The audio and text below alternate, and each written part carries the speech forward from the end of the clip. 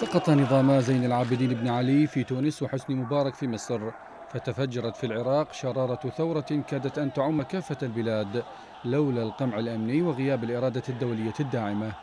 كان ذلك في الخامس والعشرين من شهر شباط عام 2011 حينما احتشد الآلاف في ساحة التحرير وسط بغداد رافعين شعارات مطالبة بالإصلاح وتوفير الخدمات ما لبثت أن تطورت إلى مطالب صريحة بمحاكمة المجرمين والفاسدين والتنديد بحكومة المحاصصة الطائفية. خمس وخمسون نقطة ما بين مدينة وقضاء وناحية شملتها التظاهرات في أغلب محافظات العراق. حصر المتظاهرون المقار الحكومية وأزاحوا الكتل الكونكريتية التي أغلقت جسر الجمهورية المؤدي إلى المنطقة الخضراء.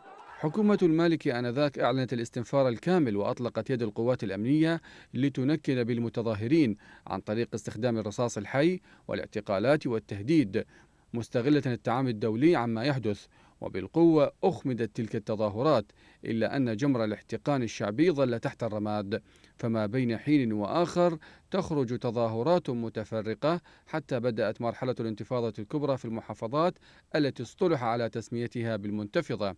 فشكلت انعطافة مهمة في شكل التظاهرات وطبيعتها ولم تتمكن الحكومة من إخمادها إلا باستغلال مرحلة المعارك مع تنظيم الدولة لتدمير تلك المحافظات وتشريد أهلها.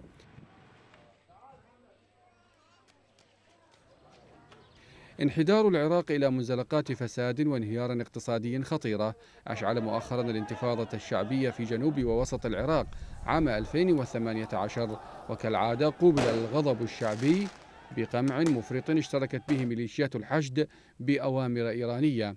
غضب شعبي ضد العملية السياسية برمتها يقمع في مكان ليشتعل في مكان آخر لكن علة ذلك الغضب أنه بلا تنسيق شعبي وقيادة موحدة رغم توفر كل الأسباب ووجود كل الدوافع لتحقيق ذلك.